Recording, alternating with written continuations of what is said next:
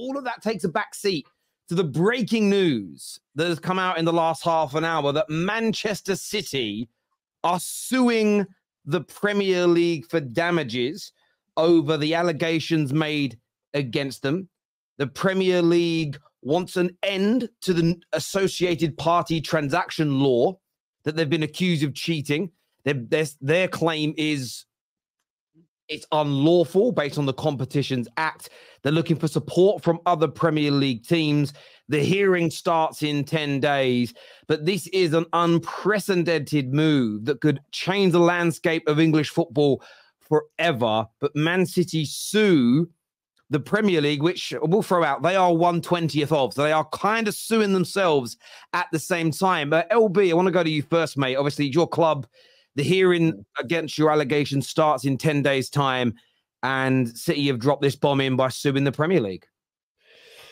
Yeah, it's wild, man. As City, City fan base, we've been asking what's what are City going to do uh, about this situation because obviously, like City, obviously not happy with with the whole rules. And if you've read, I don't know if everyone's had time to read the article because as obviously only just dropped, but there are some there are some heavy statements in there from from from City. You know, City feel that like these rules are a direct target towards clubs that are owned um, by owners in in the Gulf states. So basically, he's looking at City and, and, and Newcastle there as well.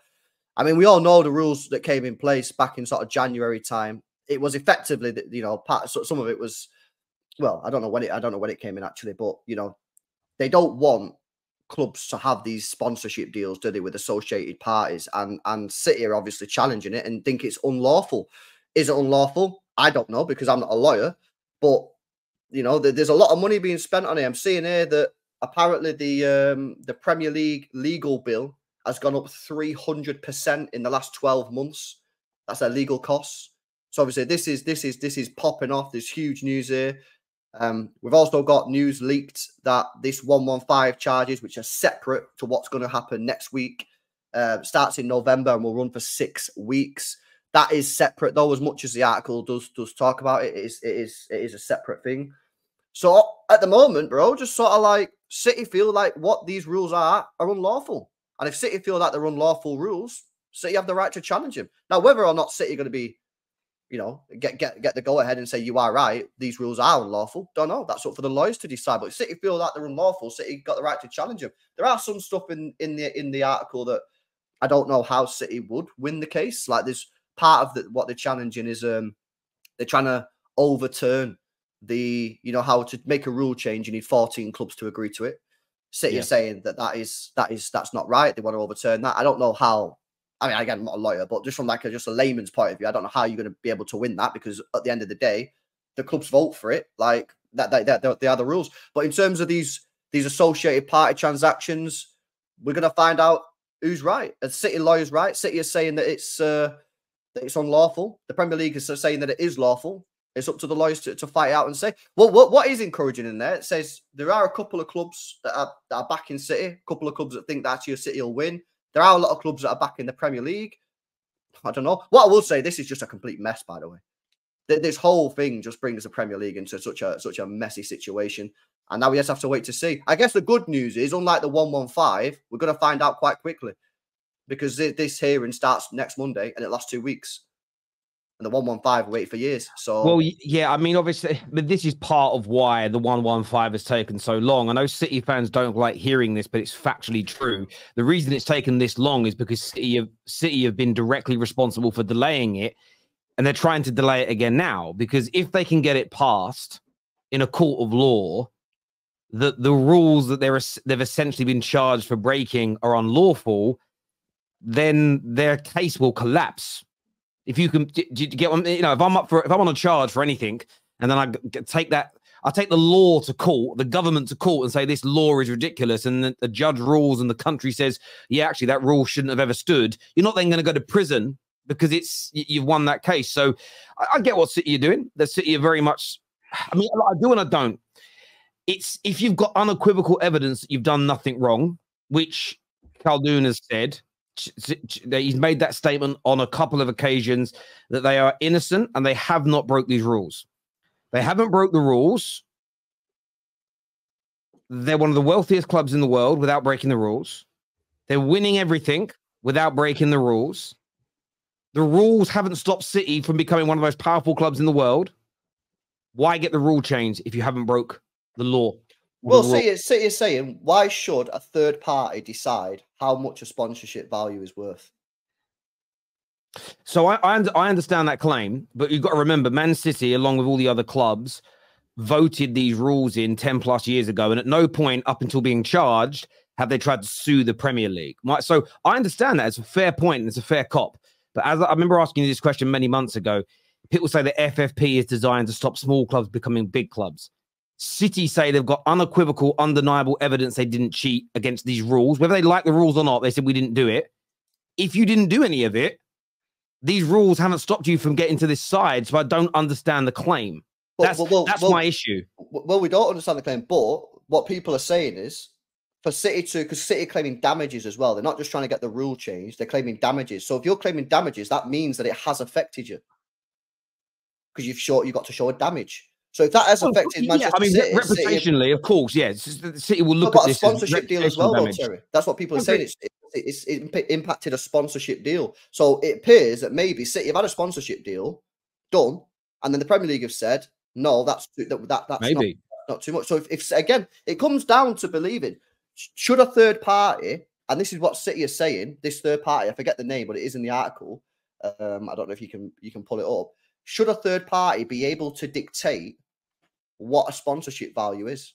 Surely it's up to the company that's sponsoring to, to decide that. Now I know you'll get into the things of well, yeah, but if they if that company has links to the owner or whatever, well, See, I'm not problem that we're in, again. You, you- know my view. You know my views on that. LB. I'm not against it. Never have been. My view is we have to protect football clubs from themselves because of the debts they can run up. Um, qu- qu- question here from Peter says Man City did not vote for the FFP. Terry. Uh, well, there's no FFP in England. It's profit and sustainability rules. So City didn't. Maybe Z- City voted against it, but City have agreed to be part of the Premier League. When you're part of the Premier League, you are agreeing to the rules of the the 14 club vote rule. So they have signed up to these rules and these laws. City could have left. City did not need to be part of the Premier League. They have chosen to be. And that is a choice that they have made. Same as us three and here are YouTubers. We choose to comply with uh, YouTube's rules and regulations. It's as simple as that. We have a choice. We don't need to be YouTubers, but we decide that's what we're going to do. So look, I- City can't just sit here and suddenly say, "Oh, it's eh, the whole world's always been against us." You've voted and you've taken part. Would they be suing them if they hadn't been charged by the Premier League? I don't know. And I listen. I'm not surprised the other clubs supporting them. There will be other billionaire owners of clubs. Listen, Man United are owned by Ineos. Do people know how wealthy Ineos, the company, are? I'd love Ineos to start pumping a billion pound a year their own money into Manchester United. We'd never have a we'd never have a financial problem ever again. We could build a two hundred thousand seater stadium, no problems. So again, I'm not against it. I've got very wealthy owners coming into my club as well, but we have to protect people. Uh, Potsy, what what do you make of all of this? Is it uh, how do you see it from a city point of view? Do you see this as a, some people are saying this is an admission of guilt? How do you personally see it? Mm. Wow. I don't know what way do I go with this. Do I look at it as admission of guilt in the respect that you just put it, Terry, which was articulately put? If I say so myself, I think I will look at it in that way for some reasons. In that, oh yeah, we kind of have been breaking it, but well, we think the law is wrong, so we're going to go down that route. Or do they believe they've done absolutely nothing wrong, and they're like, we're going to prove we've done nothing wrong, so we're going to come for you because we've got evidence to prove that we're innocent and we're going to come for you now and try and sue you and take you for as much as we can. What way is it? We don't know. Um, with Pep Guardiola's future up in the air, with KDB links with Saudi Arabia, a lot of people are going to be saying, yeah, City are in the mud and this is the start of what's going to be terrible. No more Pep, no more KDB, and uh, they'll be playing Stockport soon.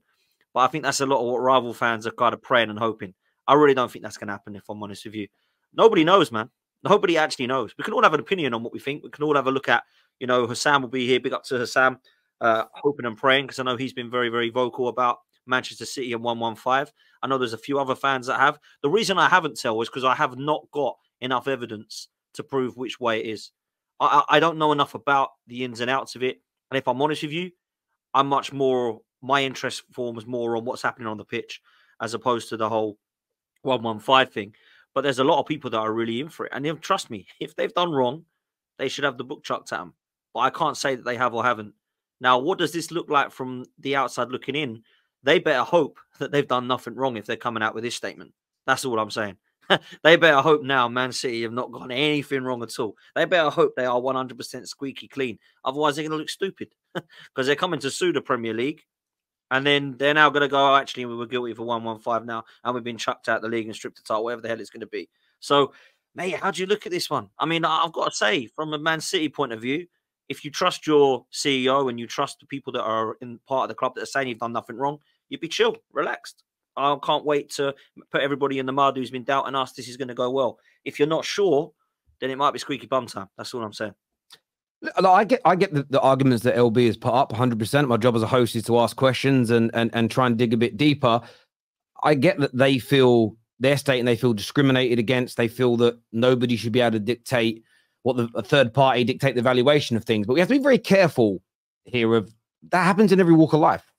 So LB, I don't know if you own a house or not, but you, when you go to own a house, the mortgage company agrees to lend you money. You make an offer to the house, and then an independent third party comes and values the house and says how much it's really worth so that either you're not overpaying to make sure the mortgage isn't too high for you to make sure there isn't problems there so there are multiple examples in in life where a third party completes the valuation of a of a of a, of a deal so I, I think that again i just want to be really kind of balanced but i understand how City feel. And it's just come out here again from the same article that at least one other Premier League club has submitted a witness statement in support of Manchester City for next week's arbitration hearing, uh, whilst more than half of the side uh, clubs have sided with the Premier League on this one.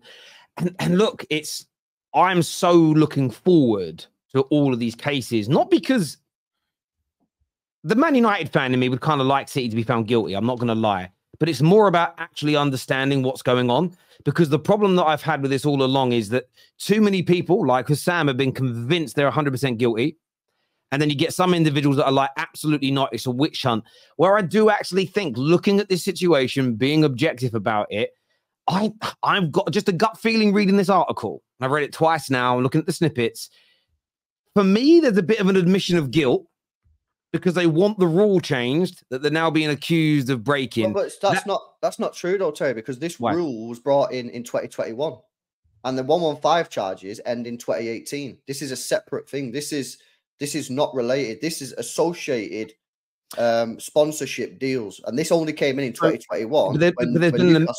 Sorry, but there's been an amendment. So City have been charged with and have been investigated for things for, that are over a decade old through their owner pumping money into sponsors and then the sponsors paying the club. That's what those emails leaked are all about. Now, there's been amendments and new rules brought in since then, but they're essentially, when you boil them down, they all relate to the same issue, which is clubs having sponsorship deals that are either one, too above market value, seen as too lucrative, or the company sponsoring you and not actually pumping money into you. Your owner is just siphoning money in from the back door. The, again, that was my interpretation of reading these things. So I can see it and why people would say, well, they're trying to get the rules changed for the things they're kind of being accused of. If they can get though, Terry, that the rules have actually that have been implemented have actually benefited Man City. Like for me, Newcastle have come in and they could quite rightly, with 400 billion in the bank, go sign, sign, sign, sign, sign, sign, sign. and they've stopped that from happening. So, Man City, if I'm a City fan, I'm Man, thinking, thank Man, God for that. Well, this, We've got this our squad. Everyone else is trying to catch up I, with I, us. I agree.